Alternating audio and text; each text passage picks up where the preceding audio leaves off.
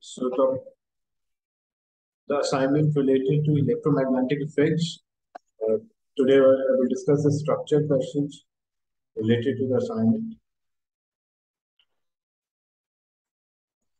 So in the first uh, structure question, the photograph shows a demonstration of AC generator. What happened in AC generator uh, when the coil rotates between the magnetic field there is a change in a magnetic flux linkage, as you can see using a handle. When we rotate this coil between the poles of a permanent magnet, there will be a change in magnetic flux linkage which induce EMF. So the handle is used to rotate the coil between the magnetic poles. When a light emitting diode LED is connected across the coil, the LED flash on and off. Explain this observation. And remember, light emitting diode, as it allow when the current is moving in a specific direction, it will operate and the other way it will switch off. So if this is a certain symbol for LED, the current direction of the current is this way, the LED will be on. But when the direction of the current is opposite, it will not allow that current to pass. So that moment, the light emitting diode will remain off. And when we are rotating this handle, there is a change in magnetic field which produce EMF or current and that EMF or, or that EMF or the current is in opposite direction. Like uh, it is continuously changing the direction, clockwise and anti-clockwise.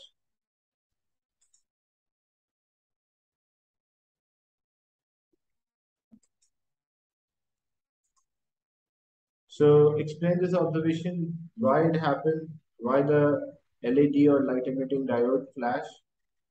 So first thing, when this coil will rotate, there will be a change in magnetic flux linkage. And due to change in magnetic flux linkage, it will produce EMF. And when the circuit is complete, due to induced EMF, it will produce a current. And LED only allow the current like it will operate only current in one way, the other way it will stop.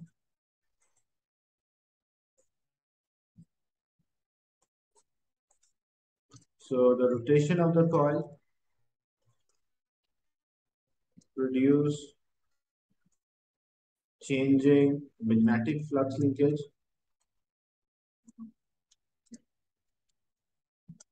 which induce EMF and current start to flow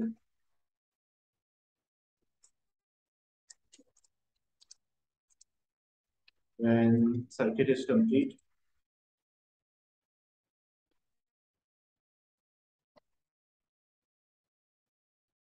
And which current it will produce as the coil is rotating clock continuously, the change in magnetic field is there. In that case, AC current or alternating current start to flow when the circuit is complete and why the diode flash? The diode only allow or LED light emitting diode allow the current in only for one direction, like allow the current to flow in one direction. That's why when the direction is from the direction of P region, that it allow the current to pass and that LED will be on. But if it is in opposite to the direction, then LED will block that current. So in that moment, the current will, will not flow through the LED light emitting diode, so it will remain off.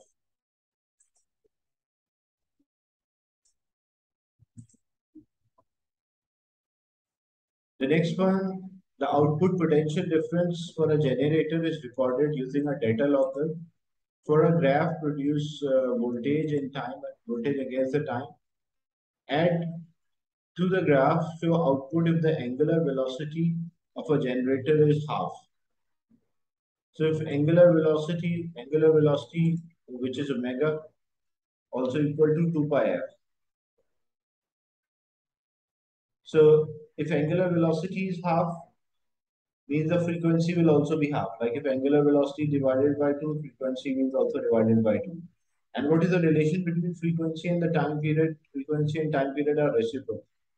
If the frequency is divided by 2, means time period will be multiplied by 2. So it means this like here, one cycle was taking 0.2 of a second. But then what will happen? One complete cycle will take 0.4 seconds. And as it will take longer time to change the magnetic field, the induced EMF will also reduce. So the cycle, as it is uh, around, uh, this value is around 5, so it will be 2.5. And so plus 2.5 minus 2.5 will be there for one complete cycle. And that one complete cycle will take 0.4. And same thing, plus 2.5 and minus 2.5. So there will be only two cycles in 0.8 seconds. The two things will happen as a change is smaller changes there. The induced EMF, it will produce a lower induced EMF and it will take a longer time as the speed is reduced. Explain the changes in the graph when the angular velocity of a coil, angular velocity of a coil is half. So what happened? As the angular velocity is half, so it will take longer time. So the time period will be double.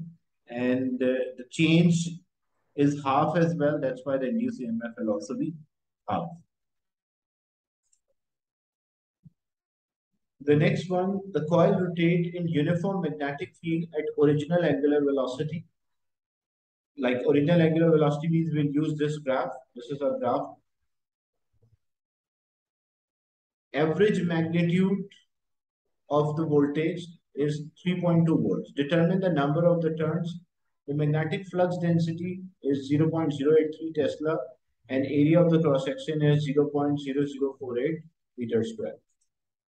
So the formula which we will use that according to the Faraday's law that the induced EMF equals to change in magnetic flux linkage. So delta in phi divided by delta t. So the average induced EMF that is 3.2. And what about phi? We know phi is equals to B dot A. So in place of this phi, we can write BA. So it's equals to N is actually a constant. So we can say N A divided by delta T. So we have the average induced EMF, which is 3.2. We have the area of the cross section, that is A. We have the strength of a magnetic field, so B is also there. We have, we want to find the number of turns, that's the unknown. And what about the time interval? So what time interval you will take because this, this is given an average magnitude. So for one cycle, what will the average time? The total time for one cycle is 0.2. That's the total time. But I want to take average. So how to take average for this time interval? We'll check how many values of the voltage we'll have. Like it starts, so this is one value of the voltage, say V1. This will be the second value of the voltage V2 third value of the voltage V3 and fourth value of the voltage V4. So means in this time, because this is a start, that's why I did not consider. So in, in one complete cycle, I will have four values.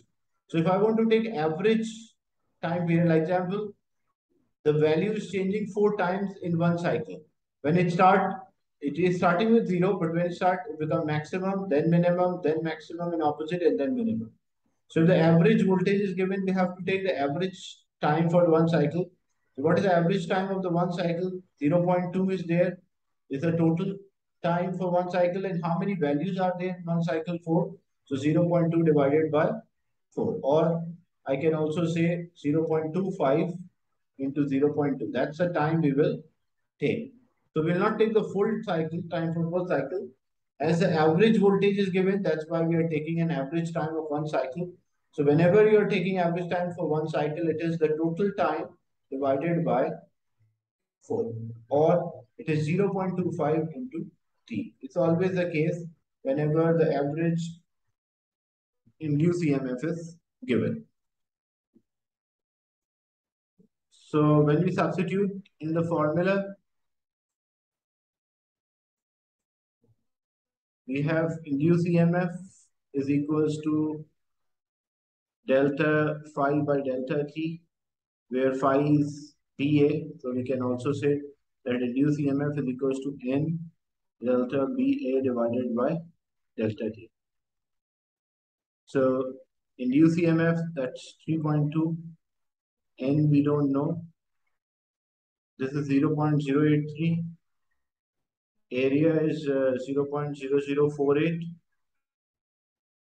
divided by the time interval 0.25 into 0 0.2. And then we simplify to get the number of turns, which is about 400 into turns. Is it uh, clear, this one?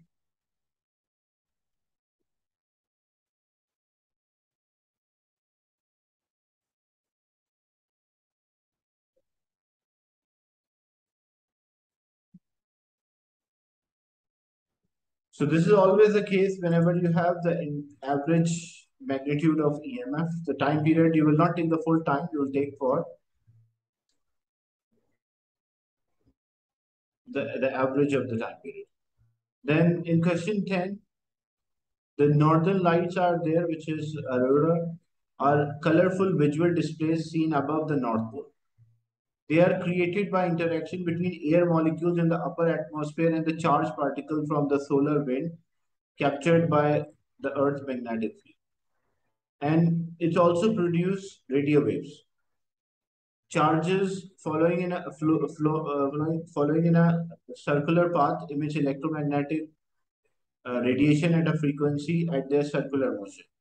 Show that an electron with a speed of 400 km per second will emit a radiation with a frequency of about 200 kilohertz if it is moving perpendicular to a magnetic field with a magnetic flux density of 6.8 microtesla. So we want to show that frequency which is produced when it is moving in a circular path is about uh, 200 kilohertz.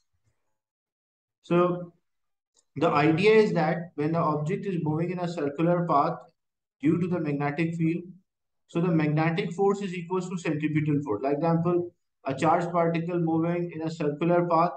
So the magnetic, the centripetal force, the force which is directed toward the center is actually the centripetal force. So we can say that centripetal force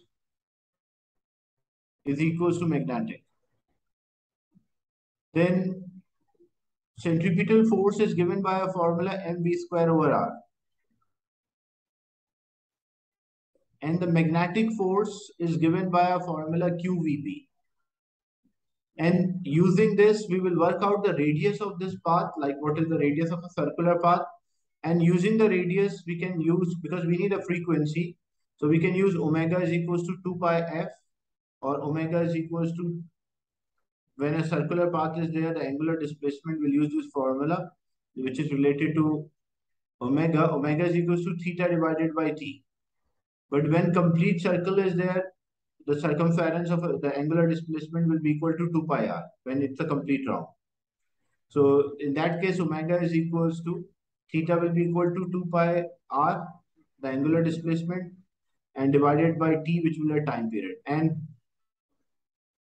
time period and frequency are reciprocal. So we can say omega is equals to 2 pi r into f. So using this, we will we can work out the omega or the radius of the path using the radius of the path or time period we can work out omega and from omega we can work out the value of the frequency So first, the centripetal force is equals to mv square over r.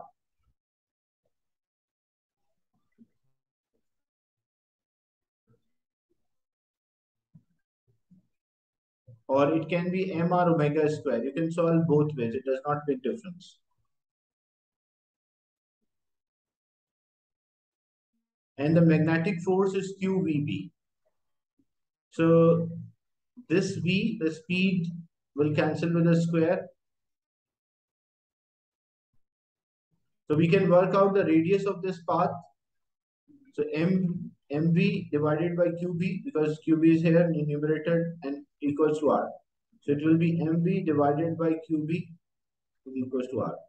When we substitute the values, m is the mass of electron. The constants are given. You don't have to memorize. So the mass of electron is 9.11 into 10 to power minus 31. Then the speed at which this electron is moving, that is 400 kilometer. So you have to convert into meter. So it will be 400 into 10 to power 3 meter per second. Divided by Q, the charge of electron, which is uh, 1.6 into 10 to power minus 19 coulombs.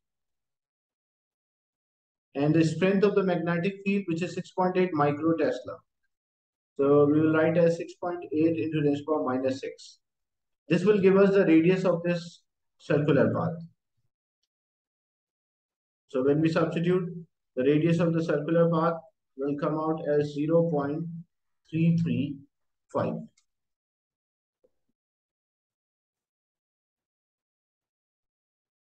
And after working out the radius of a circular path,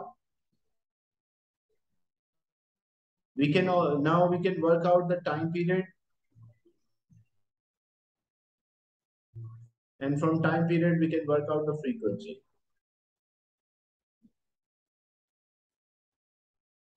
So when an object is moving in a circular path we also have the formula speed is equals to distance divided by time so moving in a circular path speed that is given in the question which is 4 into 10 power uh, 400 kilometer per second. So it will be 400 into 10 power 3.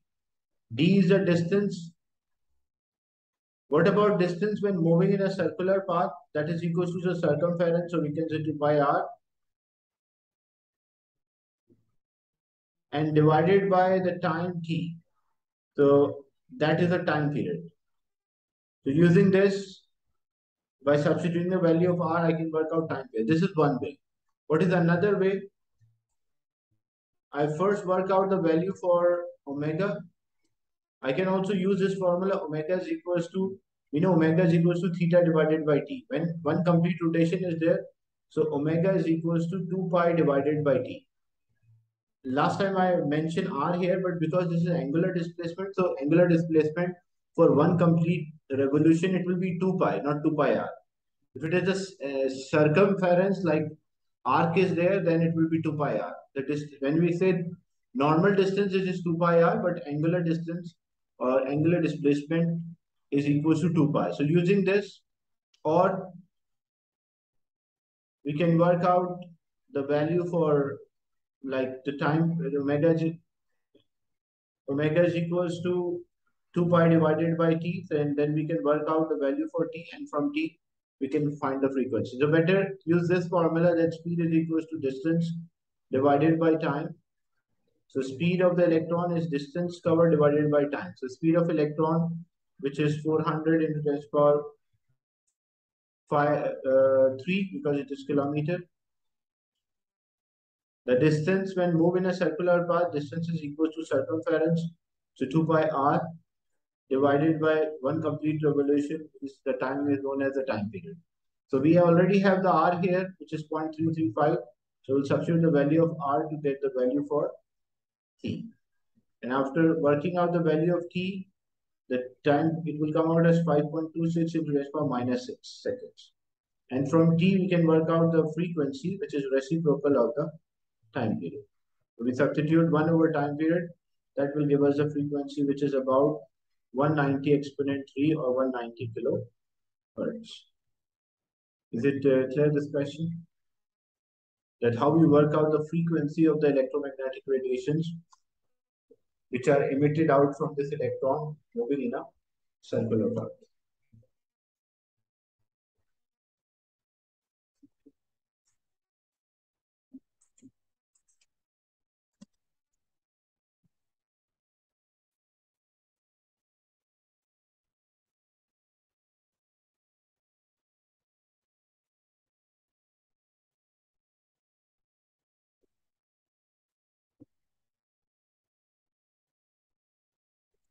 Okay. Yeah, why I use 2 pi or 2 pi r? It depends on first thing, we use centripetal force equals to magnetic force. Using that, we work out the value for R. Now we have two ways to do this question after getting the value of R. One is speed equals distance divided by time. As this electron magnetic field is perpendicular, so this electron will move in a circular path. So when an object move in a circular path, speed is distance over time. So in a circular path, what is the distance travel? Distance travel equals to the circumference. So distance travel equals to circumference. That's why it is 2 pi r. Divided by the one complete rotation that is called time period, so capital T. And where v is the speed. So this speed is given. RB are already calculated by comparing the centripetal force with the magnetic force. So we work out the time from this formula. And after working out the time, frequency is reciprocal of the time period. So F equals 1 over T will give us the frequency at which this electron is rotating, like how many times it complete vibration or motion in one second. The second way to do this same question, what we can use, we can, if I'm using angular velocity, so angular velocity is omega is equals to theta divided by t. That's a formula for omega. And because it's it's a omega, what is omega means? We did in a circular, uh, the question, we did this in circular motion that omega is the change in the angle with unit time. Like how much the angle changes in a unit time, that's called omega. So when the object rotate, when it is a one complete revolution, the change in angle will be equal to 2 pi, 360. But we substitute in radian, so that's why it is 2 pi. And one complete rotation, it will be t, and then it will be omega. And we know, because here we don't know omega, so we can find omega. Omega is, we know V equals R omega. So omega is equals to V divided by R. So using V over R, we can work out omega. After getting omega, we find a time period. And after getting a time period, we just take a reciprocal to get the frequency. So if I'm using the angular velocity, the angular displacement will be 2 pi, like the change in angle 2 pi. But if I'm using a simple formula for speed, then the speed equal total distance and the total distance in a circular path equals to circumference that is 2 pi r. Is it uh, clear now?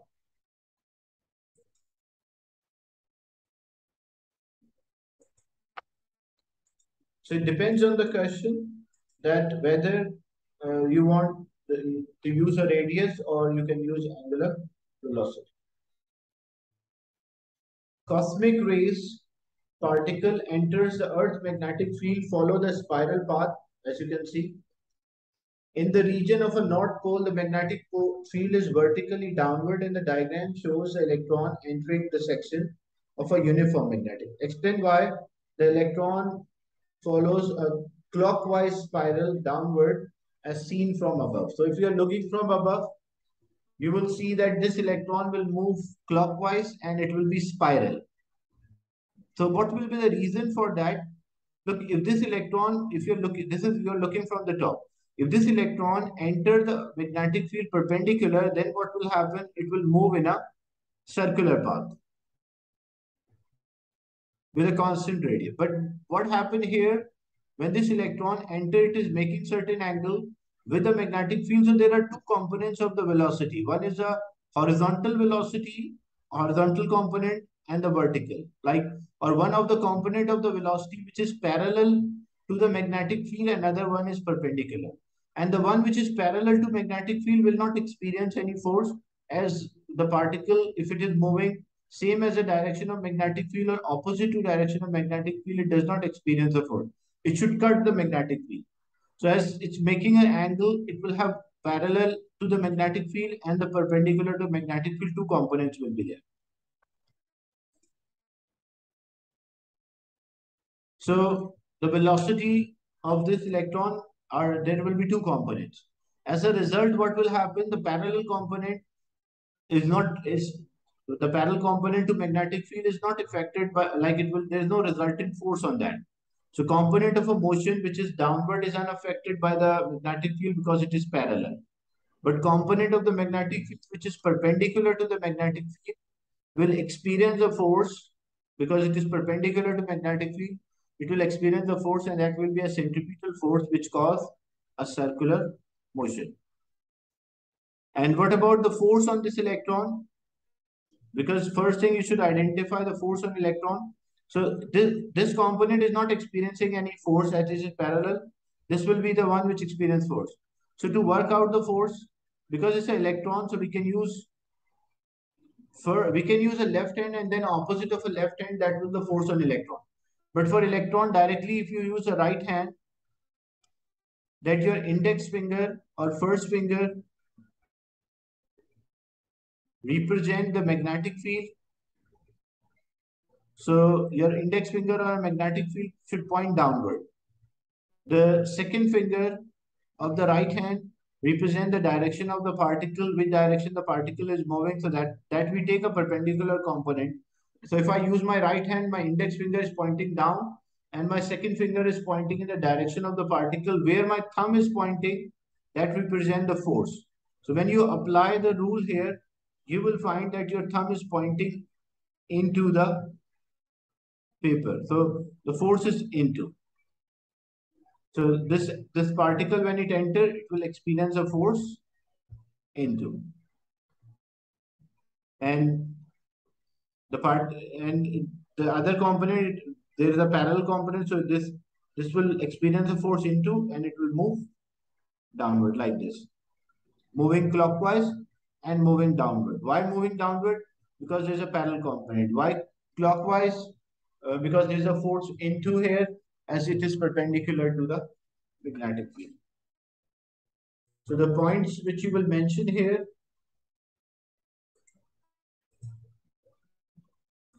that the velocity is having two components.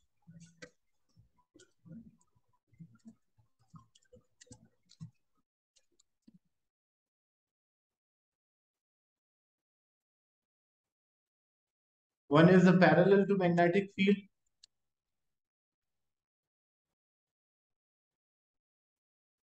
which does not experience the force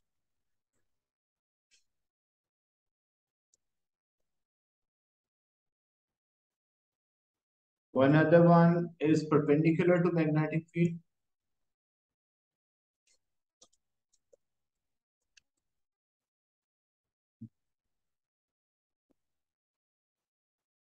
which experience the force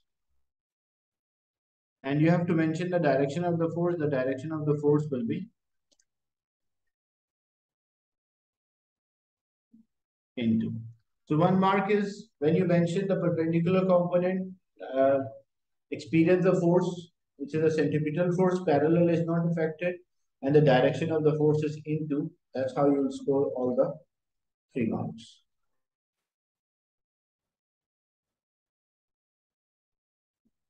Is it uh, clear, this one?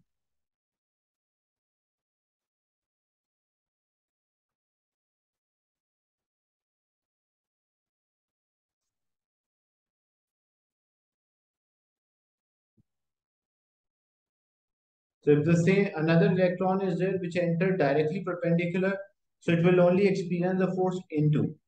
Like it will uh, remain in a circular path there is no other component, so it will continue to rotate in a circle. But for this one, because there is another component, so what happened? It is moving in a circular path, and there is a component which is downward. That's why it is going downward. Any doubt in this?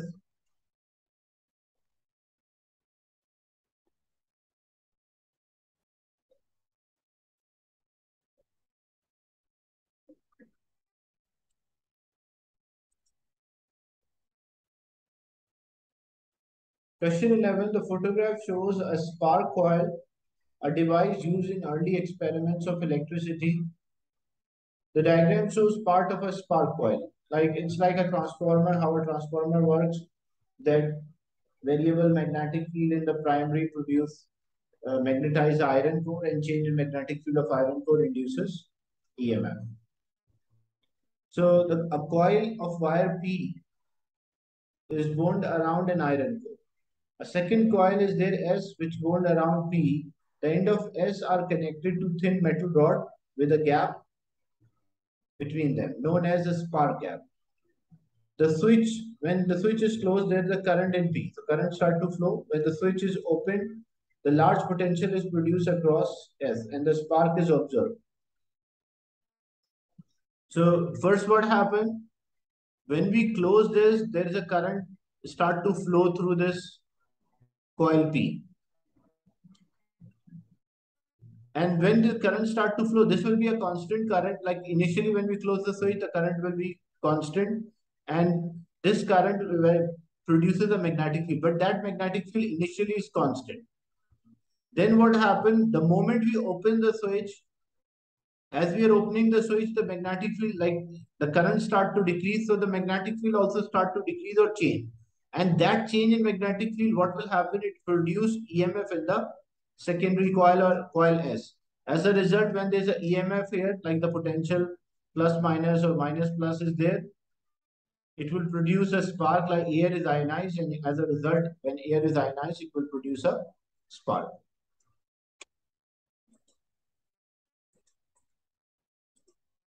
So explain how the potential difference is produced across end S. So how the voltage or a potential is produced across this S,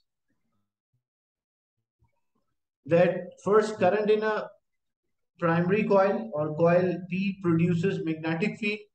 The moment when we open the switch, the current start to change, so the magnetic field will also change when the switch is open.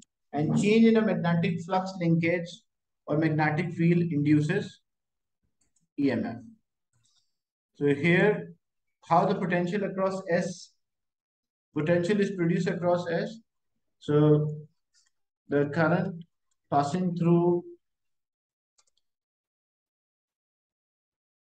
P produce magnetic field. That's one thing.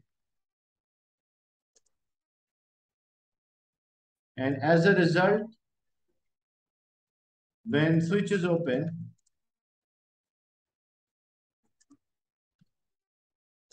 the current start to decrease or change. And the change in the magnetic field.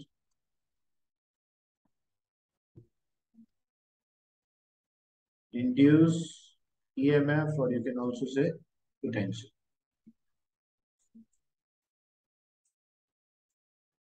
Then the potential across G is 110 kilovolts Calculate the time taken for magnetic flux in the core to decrease to zero when the switch is open. The number of turns of the secondary is 42,000. The area of the cross section is given and the maximum flux density is given 7.4. So according to the Faraday's law, the induced EMF is equals to the change in magnetic flux linkage, rate of change in magnetic flux linkage So we can say induced EMF is equals to N delta phi by delta T. And phi is equals to BA. So we can also say that induced EMF is equals to N delta BA divided by delta T. So we need this delta T. So delta T will be equal to N delta BA divided by EMF. So number of turns, that is 42,000 in the secondary. The magnetic field strength, that is 7.4. The area of the cross section is 1.4 into h power minus 3 and divided by induced EMF. As mentioned here, uh, the induced EMF is 110 kilo, so it will be 110 into 10 power 3. So when we substitute, this will give us the change, the time interval, which is about 3.96 to 10 power minus 3 seconds or 3.96 milliseconds. That's the time it will take to change the magnetic field to zero.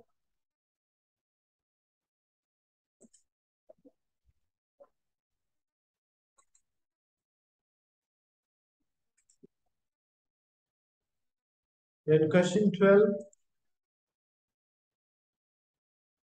Using both fields at the same time, it is possible to balance the force that the uh, balance the forces so that the path of electron is not deviated. Like what we did here, electron was experiencing the electric force and it deviated upward. Then in the same region, we apply a magnetic field. Here magnetic field into the page where no electric field is going down. But when we apply the in the same region, we have electric and magnetic field. So what will happen? This electron undeviatedly will pass through.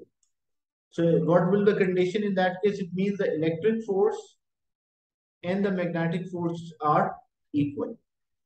For such electron, the speed of the electron is given by equation. The speed of electron is voltage divided by distance between the spacing into the strength of magnetic field. So that this equation is correct. So how we can show that this equation is correct?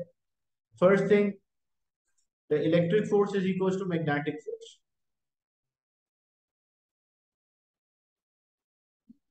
Electric force is given by QVB. Uh, electric force is E is equals to F over Q. So F is equals to EQ. So it will be EQ. And magnetic force is given by QVB, where V is the speed here. So I'm writing it small. Then what about strength of magnetic field between the parallel plates? So V is equals to ED. So E is equals to V the potential divided by D. That's a value for finding, uh, that's a formula for finding strength of magnetic field. So it will be VQ divided by D equals to Q, V is the speed and B. Then Q is common both sides. You can see, so Q can cancel with Q. So we can say V, the potential divided by D is equals to V is the speed. This V is the speed and B is the strength. Now we need speed. So it will be V the potential divided by D, V. So the speed at which the electron is moving, that's the potential divided by distance between the two plates and the strength of magnetic field. So this equation is true. So first what we did, we compare electric force with the magnetic and electric force is EQ, magnetic force is QVB. Q will cancel with Q and E is equals to V divided by D. We just substitute that value and get the value for speed.